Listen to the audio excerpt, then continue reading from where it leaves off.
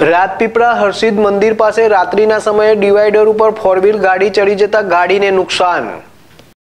નર્મદા જિલ્લાના કેવડિયા ખાતે વિશ્વની સૌથી ઊંચી પ્રતિમા સ્ટેચ્યુ ઓફ નિર્માણ કરવામાં આવ્યું છે. ત્યાંથી મોટી માત્રામાં પ્રવાસીઓ આવતા હોય છે. પ્રવાસીઓ રાજપીપળા લઈને જતા હોય છે.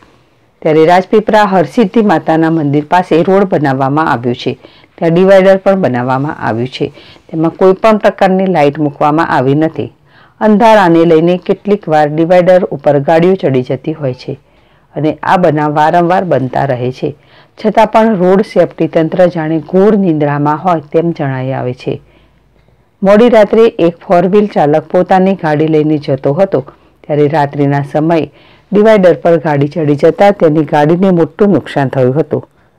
ફોર વ્હીલ ચાલકનો આબાદ બચાવ થયો હતો. અકસ્માત નિવારવા તંત્ર બોર્ડ મૂકે તેવી માંગ થઈ હતી.